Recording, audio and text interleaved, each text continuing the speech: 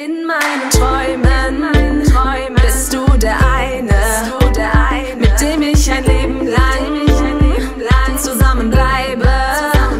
Du trägst mich auf Händen und bist immer für mich da. Dank dir bin ich. Hallo ihr Lieben und willkommen zu einem neuen Vlog von mir. Ähm, wir waren gerade einkaufen und ähm, wollte euch mal kurz zeigen, was wir gekauft haben. Wir, wollen morgen, wir wollten eigentlich morgen bei einer Freundin im Garten grillen gehen, mit der wir auch gestern unterwegs waren. Aber ich weiß nicht, äh, irgendwas ist mit dem Grill oder so, glaube ich. Und auch dann meint, dann machen wir das nächste Woche. Wir kommen diesmal nur so vorbei und essen und tratschen halt ein bisschen. Ich wollte euch mal zeigen, was wir jetzt gekauft haben. Und zwar einmal äh, hier Wassermelone. Dann haben wir gekauft Brot, Eier, ähm, Cornichos. Ich wollte morgen einen Nudelsalat machen. Den mache ich aber morgen, also nicht heute, sonst schmeckt das am Ende nicht. Dann einmal diese Chips für die Kinder. Dann habe ich für die Pampers mitgenommen. Sie hat keine Pampers hier. Übrigens fragen mich total viele, ob ich Lena jetzt, ähm, ob es schon aufs Töpfchen geht. Also sie geht am Tag einmal, zweimal, wenn sie Lust hat. Aber ich zwinge sie jetzt auch nicht. Die hat jetzt Zeit bis zum Kindergarten und äh, dann ist auch gut. Ups.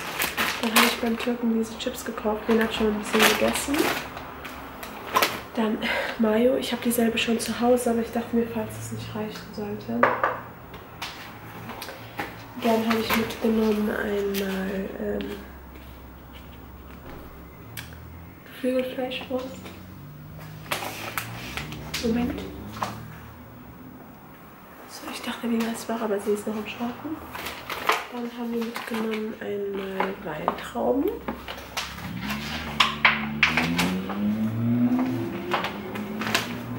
Dann zweimal Mais. Dann ganz viel Fanta Exotik, auch für morgen, glaube ich. Also da jetzt voll viel mitgenommen. Aber wir lieben die auch. Also momentan stehen wir voll drauf. Dann habe ich Zucker mitgenommen. Wir hatten keinen Zucker mehr für den Tee.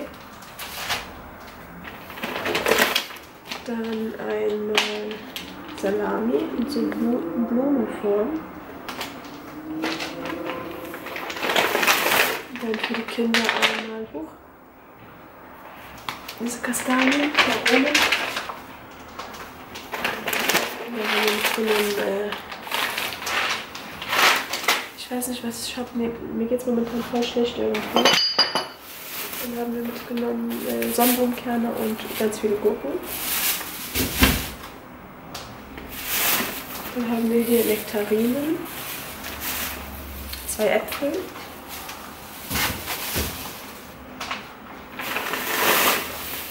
dann Aprikosen. Dann habe ich mitgenommen einmal ähm, Rasierer. Noch ein Fanta Exotik. Berliner Zahnbürsten. Dann durfte sie sich zwei äh, Schaumbäder aussuchen, obwohl sie gestern zwei bekommen hat. So. Dann habe ich äh, letztens meine Shampoos im Auto vergessen.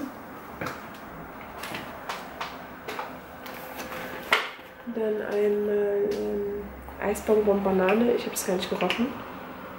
Aber das riecht aber echt gut. Das hat Nina für sich gekauft. So ein Shampoo. Und zuletzt ähm, rote Weintrauben. Das war es auch mehr nicht gekauft. Ich warte jetzt, bis Nina aufwacht. Ich weiß auch nicht, was ich kochen soll, ehrlich gesagt. Mal schauen, was es wird. Und danach melden wir uns bei euch. So, Lina ist jetzt wach. Ich werde jetzt ähm, hier ein paar Köftes machen. Äh, zeige ich euch dann gleich. Also sie sind schon fertig gemacht. Ich hole hier noch drei, vier Stück raus gleich. Ähm, ja. Und dann macht man einfach so eine Tomatenmarksoße, so eine flüssige dazu und das war es dann auch. Und das schmeckt ganz, ganz lecker. So sieht das Essen übrigens aus. Da kommt dann die Soße drauf und das schmeckt super, super lecker. Das ist mit Kartoffeln gefüllt. Man kann das auch mit Hackfleisch füllen. Ja, wir haben jetzt ein paar genommen mit Lina. Das schmeckt einfach super lecker. Wir haben jetzt gegessen. Ich räume jetzt hier noch die Tüten weg. Die habe ich die Tüte rein. Ich habe euch ja den Einkauf gezeigt. Und wir gehen jetzt auf jeden Fall duschen mit Lena. Wir haben immer so viele Tüten. Und dann auf einmal sind alle weg. Hier die Pampers von Lena muss ich noch einsortieren. Hier, zieht schon mal deine Pampers aus. Wenn du auf Klo musst, geh auf Klo. Ja, ähm, ich muss noch unsere Klamotten vorbereiten. Und ich muss mich heute auch epilieren. Also ich versuch's. Ich hoffe, das klappt. Und sonst gibt's nichts. Ich traue mich nie hier die Gardinen und Fenster aufzumachen, weil ich voll Angst habe, dass eine Wespe oder so reinfliegt. Ich bin so ein Schisser geworden bei sowas. So, ich ziehe meinen Jumpsuit an. Der ist auch voll bequem, nur ist der viel, viel, viel zu offen. Und ich gucke mal auf den Balkon, ob wir da alles Mögliche haben. Weil ich habe gestern und heute Wäsche aufgehangen. Lina, warte. Ist trocken. Trocken. Ist gut. Trocken. Die Kinder werden morgen übrigens auch planschen. Ähm, wir werden die Planschflächen mitnehmen. Die werden bestimmt richtig Spaß haben morgen. Warte, ich suche gerade ähm, so ein Kleidchen für dich. Ja, Schatz. Mhm. Ja, wir baden jetzt. Die Kleine bewegt sich total fleißig. Also, die ist nonstop am Treten. Aber der spürt die jetzt auch von außen. Schon seit wie viel? Seit drei Tagen oder so. Ich dachte zuerst, der spürt die nicht von draußen, aber der meinte doch, ich spüre sie. Ganz, ganz leicht. So. Lina hat natürlich direkt hier ihre neuen Spielzeuge reingeschmissen. Die Badewanne, die ich ihr gekauft habe. Ich weiß nicht, eure Kinder auch so sind, aber Lina darf dann auch damit spielen. Ich meine, das kann ja nicht kaputt gehen. Aber jetzt machen wir erstmal die Badewanne voll. Ja, warte, Schatz. Warte, ich helfe dir. Hallo ihr Lieben, heute ist der nächste Tag. Wir haben uns schon fertig gemacht. Ich muss nur noch Concealer und so machen. Ich sehe voll kaputt aus. Ja, ähm, ich habe jetzt, wir haben Obst vorbereitet, dann auch die Shisha sauber gemacht. Und wir haben den Planschbecken von Nina eingepackt mit den Handtüchern und so. Was wir mitnehmen werden noch, ich habe, zeig ich mal kurz, einmal hier diese Eierplätzchen gefüllt mit Dingens gemacht. Das hatte ich ja schon mal gemacht, habe ich euch mal gezeigt. Dann hab ich, haben wir eine Wassermelone gekauft gestern. Das nehmen wir mit. Und äh, dann holen wir noch ein paar Getränke. Das war's auch. Ja. Papa. Papa ist auf Klo. Toilette, Baba. Genau, ich mache mich jetzt auf jeden Fall gleich fertig. Ich habe mich schon angezogen, einfach ein Kleid und ja, das war's. Ich würde sagen, ich nehme euch dann einfach mit. Wir machen übrigens heute Raclette, so wie ich das jetzt mitbekommen habe. Und äh, grillen tun wir dann nächste Woche vielleicht oder übernächste Woche. Mal schauen. Hallo ihr Lieben, wir sind jetzt beim Arzt, beim Genetiker und warten darauf, dass wir jetzt drankommen. Nina?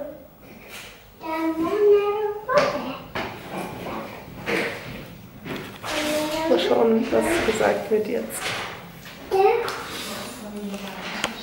Lieben, wir sind wieder zu Hause. Also wir waren beim Genetiker, ich erzähle euch das mal kurz.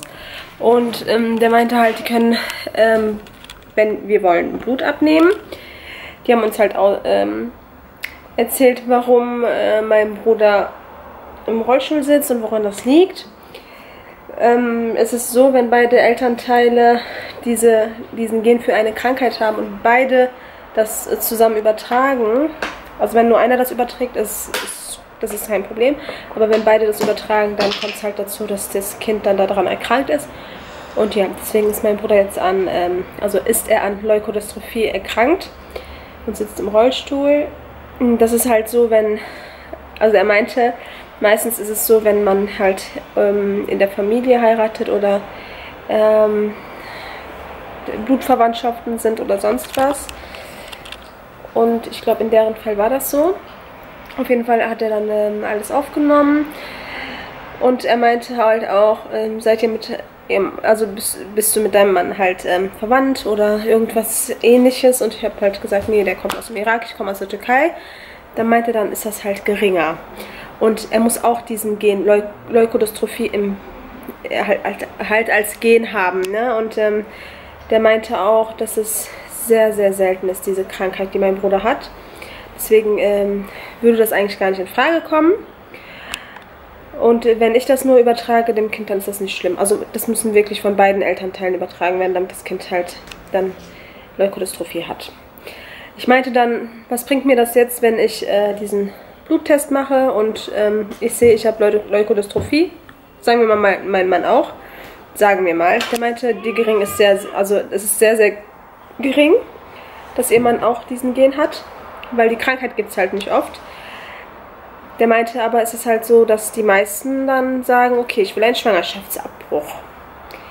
Und was man machen könnte, dann äh, das Fruchtwasser untersuchen, ob das Kind halt auch, ähm, ob das Kind halt äh, genau das äh, abbekommen hat von den Eltern.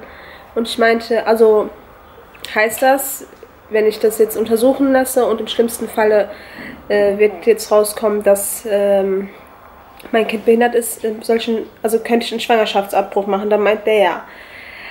Und ich habe gesagt, egal ob mein Kind mit Down-Syndrom auf, äh, Down auf die Welt kommt, egal ob mein Kind äh, nur einen Arm hat, ein Bein hat oder sonst was, das ist mir wirklich äh, Latte. Das, das, ist mein Kind. Also, wisst ihr, was ich meine? Also diese Ergebnisse, die können nicht beeinflussen, dass das mein, also ich weiß nicht, wie ich das erklären soll, aber das wenn es so geschrieben ist, dann ist es so geschrieben. Ich meine, es kann auch später ein Unfall passieren und dann sitzt man im Rollstuhl oder äh, keine Ahnung, wisst, ihr wisst bestimmt, was ich meine. Und deswegen habe ich gesagt, ich will diese Untersuchung nicht, weil wenn es so geschrieben ist, kommt sowieso und wenn nicht, dann nicht. Also ich würde jetzt niemals einen Schwangerschaftsabbruch machen, auch wenn ich das in der achten Woche erfahren würde oder in der vierten Woche oder sonst was. Nee. Mein Kind ist mein Kind. Ich würde es akzeptieren, so wie es ist. Ja. Deswegen haben wir gesagt, das soll so bleiben. Wir wissen jetzt, wie, wie es dazu kommt, ne? dass man äh, halt die Krankheit erbt oder äh, dass das Kind dann behindert auf die Welt kommt oder so. Ja, dasselbe Thema bei der Schwester. Sie hat ja Rachit, Rachit, Rachitis. Und ja, wenn es so ist, dann ist es halt so. Ich weiß nicht, wie ihr da denkt. Äh, er meinte, sehr viele Frauen kommen hier hin und ähm, brechen danach die Schwangerschaft ab. Er meinte, in ihrem Falle ist es halt äh, spät, aber ich glaube, man kann das sogar machen in der 22. Woche, was ich, was ich, äh, was ich richtig äh, beschämt finde. Also klar ist das jedem selbst überlassen, aber wenn ich weiß, mein, ich spüre mein Kind momentan und wenn ich dann daran denke, dass irgendeine andere Frau, weil das Kind äh, irgendeine Krankheit oder Behinderung hat, das Kind abtreibt, dann finde ich das, also ich weiß nicht, wie das gemacht wird, ob man dann eine Pille schluckt und äh, das Kind verstirbt dann im Bauch. Nee, also mit dem Gewissen könnte ich ne never leben. Niemals. Deswegen, also egal, was jetzt dabei rausgekommen wäre, wenn wir den Test gemacht hätten, wäre mir scheißegal. Deswegen mache ich den Test auch nicht. Aber der meinte auch, wenn es so geschrieben ist, ist es geschrieben und wir machen den Test nicht. Ich dachte, der will den Test machen, aber der wollte den auch nicht machen. Deswegen ist alles geklärt. Gleich gehen wir zu meinem Frauenarzt. Oh, der ist jetzt kurz zur Werkstatt gefahren, wegen unserem Auto. Unser Motorlicht ist jetzt ausgegangen, voll komisch. Ähm, Shivan hat jetzt äh, drei, vier Kabeln äh, gewechselt oder so. Ich glaube, zwei müssen noch gewechselt werden und der Zylinder muss noch gewechselt werden. Der wollte jetzt gucken, ob das wirklich gewechselt werden muss und wie viel das kostet. Und ja. Ihr Lieben, ich muss kurz hier reden. Oh, der schläft nämlich im Wohnzimmer. Ähm, ja, wir waren beim Frauenarzt. Äh, der Kleine geht sehr, sehr gut. Wir haben auch ein Ultraschallbild, wo sie am Lächeln ist. Also perfekt eingefangen. Und sie ist jetzt 23 cm lang, 360 Gramm schwer. Und es ist auch alles so, wie es sein sollte. Sie dreht sich die ganze Zeit und ja. Ich habe gefragt, welchen Krankenhaus meine Frauenärztin empfiehlt und sie meinte, da in dem Krankenhaus, wo du entbunden hast. Das ist in meinen Augen das beste Krankenhaus, außer du hättest jetzt ähm, eine Diabetes und musst dir Spritzen geben. Dann würde ich in ein Krankenhaus mit einer Kinderklinik. Genau.